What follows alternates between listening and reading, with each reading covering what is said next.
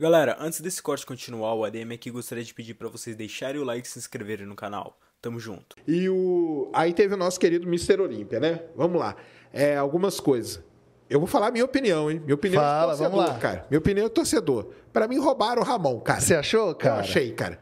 Porque o nosso amigo Chris, Bumstead, o Cibam. Tudo bem, cara. O cara é foda, o cara é. não sei o quê.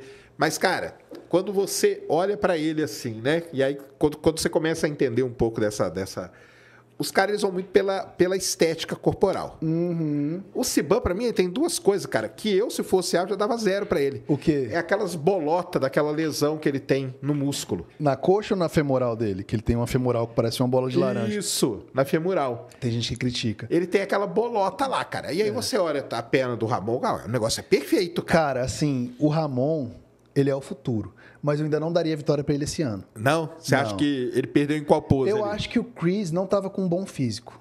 É. Eu acho que não. Eu acho que ele estava melhor ano passado, mais condicionado. Ele sacrificou um pouco a condição pelo volume. Mas assim, Ramon eu, dou- eu dava para ele as poses de frente. Eu acho que ele merecia ganhar de frente assim. De frente, você acha Tem que que, melhorar bem? um pouco as poses, mas de lado, de costas, o Cibum destrói ele. Essa é a realidade. O glúteo do Cibama, a largura de costas. O Ramon evoluiu muito de um ano para o outro. O Cibama não. Então, aí, isso que eu não. ia falar. Isso aí não é levado em consideração, cara? Não. Não é? Não. Eles levam como tá no dia, não evolução, entendeu? Quem tá melhor ainda hoje? E é isso. Agora, assim, o Sibam tá com os dias contados. O dinossauro do Acre vai esmagar ele com aquele antebraço. filho. Aquele Eu acho que antebraço. eu já falei dele uns 10 podcasts desse antebraço desse cara. Não, é Quem, quem ele pensa que é? O Juggernaut do X-Men? que que é isso?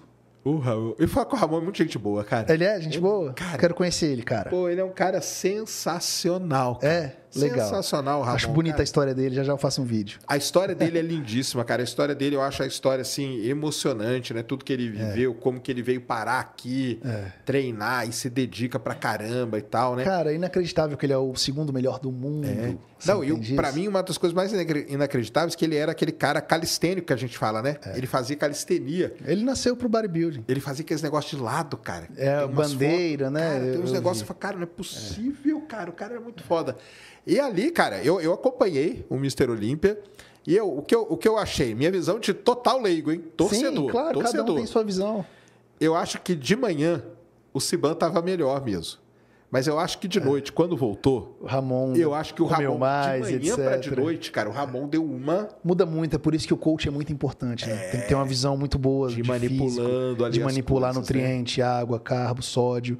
Mas assim, do meu ponto de vista, e eu fiquei chocado quando vi os scorecards, que é o sim, que é a nota mesmo. Ele- o, o- eu achava que ia ter divisão, os juízes iam se dividir, mas todos votaram no Chris. Foi unânime. É, então. foi a pontuação perfeita. Posso estar enganado, não sei, mas eu lembro que os scorecards, a pontuação foi 5, que é a pontuação perfeita, né? Do Ramon foi 10. Então foi unânime, os cinco juízes.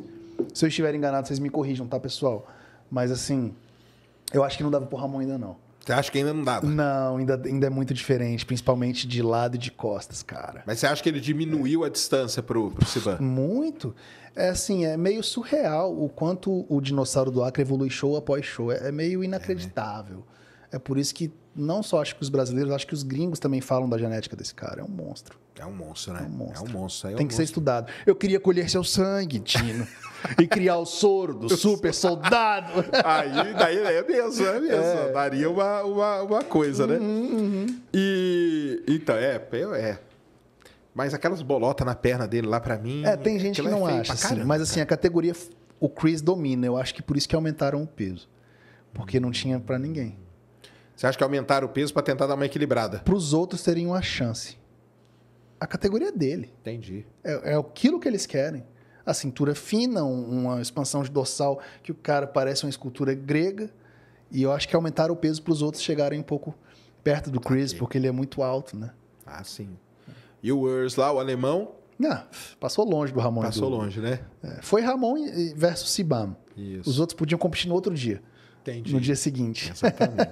e engraçado que antes o pessoal falava que esse Urs aí ia dar um trabalho, né? É, cara, a gente pode sempre especular, mas quando vê no palco é diferente. É, e eu- Por isso que são só especulações, né? Sim, claro. É muito diferente no dia ali, quando você põe do lado, tem que botar do lado. Botar do lado. Mas eu achei que tinha que ter mais comparação do Ramon e do Urs, só pra ver a diferença, a distância. Dos três mesmo. Chris, Ramon e Urs. Eu acho que tinha que ter mais eles Os três ali pra, É, pra e comparar uma... direto o, o Ramon com Urs e o Chris com Urs. Saquei, Mais assim, sabe? Entendi. Pra dar essa, pra dar essa olhada, né? É. Se você quer se divertir e ganhar uma grana, então você precisa conhecer a Maromba Bet. Ela é uma casa de apostas 100% confiável com o saque mais rápido do Brasil. O Gnome e o Toguro são algumas das pessoas que apoiam e apostam na plataforma. O link para cadastro está aqui na descrição.